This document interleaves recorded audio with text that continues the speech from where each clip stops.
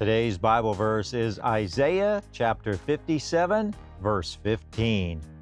For thus says the high and lofty one, who inhabits eternity, whose name is holy. I dwell in the high and holy place, with him also who is of contrite and humble spirit, to revive the spirit of the humble, and to revive the heart of the contrite. Considering the love of God is both popular and pleasant. God, Jehovah, is love, and He is loving. However, He is also the highest standard of moral perfection and absolute purity. He is light, and in Him there is no darkness. He is holy. We struggle with this because we are morally corrupt. We instinctively know we don't measure up to the Father's standard of holiness. This can cause us to run and try to hide from God like Adam did in the garden.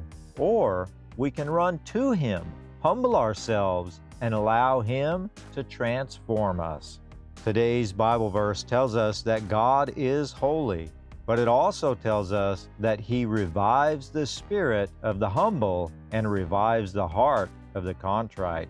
Let's humble ourselves before Him, confess our sins, allow the blood of Jesus to wash us clean, and seek to be holy in every area of our lives. Father, you are holy, and we praise you. We humble ourselves before you today and acknowledge our need for forgiveness and transformation.